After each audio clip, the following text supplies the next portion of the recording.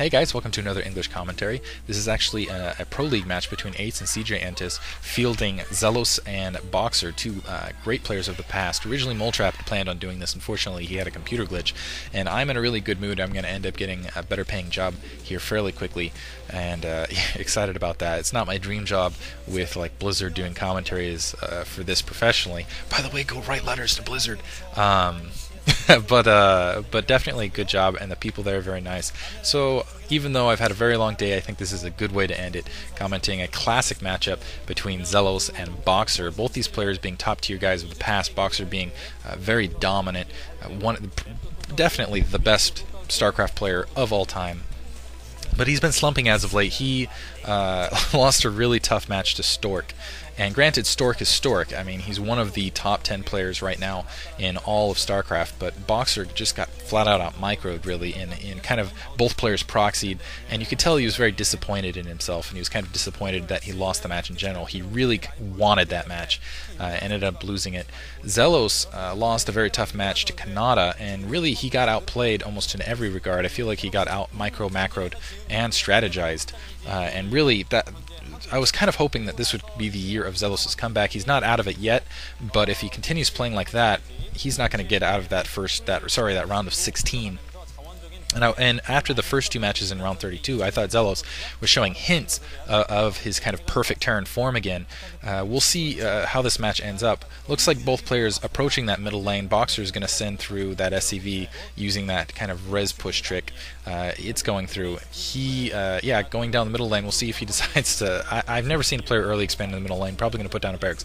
Uh, interestingly enough, it looks like Xellos is going to put a barracks on his his side of the middle lane. I'm not sure if he's going to encroach or lift it off. Uh, really, this is Monty Hall Second Edition, by the way. Uh, I don't know what the difference between the original Monty Hall and this is, but I'm going to assume it's it's fairly uh, similar, almost mirrored image of the map. Maybe a new expansion here, a new expansion there, but plays relatively the same. Uh, it's been forsaken from MSL, which I'm sure Klaz appreciates.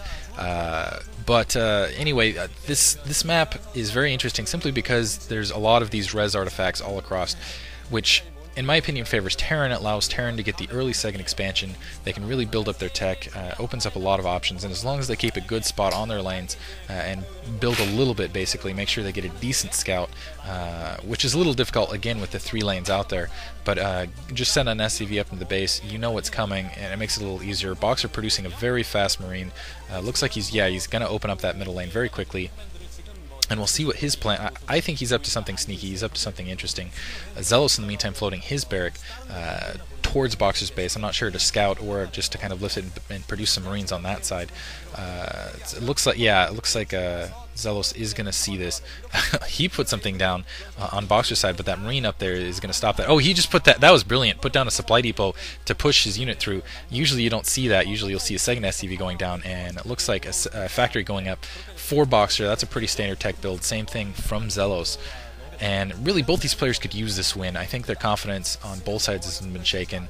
Both former veterans, both former top tier players, both of them could use this as kind of a confidence booster, uh, playing against kind of a former great, establishing themselves again as uh, an amazing uh, player. And it looks like Xellos going for two factories, or Boxer has settled just for the single factory. Sca- Xellos getting that scout in, two Marines chasing down Xellos' SCVs, and that's really that's the difference here. Is those uh, kind of uh, about two Marines worth of res and a little bit of change Otherwise, Boxer looks like he's moving some troops around in the middle. We'll see what Boxer's long-term strategy is. Uh, Xellos looks like he's just going to do a straight Vulture Rush. I'm, I'm or maybe uh, wow, Starport going down for Boxer at a proxy location. That's going to be difficult for Xellos. One for Xellos to spot out. He's already got that SCV in Boxer's base. Two Starports going down for Boxer. Boxer's going to do a very quick push into Wraiths, and I don't know how Xellos is going to spot that. I don't think he's going to have anything to fight that off. He hasn't even produced a Marine, and it looks like he's going straight into Vultures. He's going to push Vultures into Boxer's base. Uh, excellent move by Boxer. I really like it at that location, and we saw this work uh, on Zodiac with Nada versus versus uh, I Love U, or sorry, iloveoov versus Nada. We'll see if it also works out for Boxer. Boxer uh, kind of pushing down that middle lane now, uh, forcing Xellos uh, in a defensive position. He's not going to spot this in time though. Right? Those two Wraiths are going to be out uh, very quickly. The first Wraith looks like it's going. Oh, sorry, a, a control tower, going down. I don't know if that's just to upgrade the Wraiths. I'm assuming he's going Wraiths here and not dropship simply because he only has a single factory. That control tower probably going down so he can get uh, cloaking. Boxer moving those Marines up to deny that that scout that barracks is entirely out of position. He's got, uh, yeah, again, he's, he's bringing in a couple Marines and, and these Vultures, uh, forcing Xellos back. Xellos is going to win this fight uh, here, but again, it's going to keep Xellos back for a moment and allow Boxer to get those Wraiths out. And uh, wow, this a brilliant maneuver by Boxer. Those Wraiths are coming out now. Uh, you can see one producing there. That armory going down for Xellos. I don't know if he scouted that out or realized. Yeah, it looks like those vultures went by. I think they saw it. So I think he's getting that armory probably to go quick uh, Goliath. Uh, I'm actually not sure if he saw it or not. Boxer trying to block his front door in the meantime with that supply depot, and these these Wraiths are going to come out, and we'll see how effective Boxer can be with those Wraiths before all these vultures end up flooding into his base. Because really, uh, if if wow, looks like somehow the far left lane was opened up. This is going to come down to the wire. It looks like because if that again if that supply depot goes down. Xellos might be able to end the game very quickly simply by taking out all the SCVs before significant Wraith Force out. Another uh, an engineering bay going down. Boxer managing to protect his front. Uh, the Vultures are attempting to attack uh, the SCV. It looks like uh, Boxer's just kind of bringing up Vultures here and there. Those Vultures desperately trying to. Now they're going to be able to flood through, and we'll see if Boxer can keep his SCVs alive and get enough Wraiths out in the meantime to kind of. He's got a three Wraith Force going in, so. But oh man, Goliath out. Uh, for Xellos, this is going to be hard for Boxer uh, to be successful. It looks like that, that cloaking technology is still researching so wow, Xellos in a very commanding position now. He has the Wraiths, he has the Goliath. He's going to be able to run up. He plants mines right outside the factory. Not that anything but vultures are going to be coming out of there. Uh, so I'm not. I'm kind of curious about that mine place. But in the meantime, uh, just kind of taking out SCVs left and right. And Xellos uh, in a very commanding position now. He's going to be able to take out these SCVs.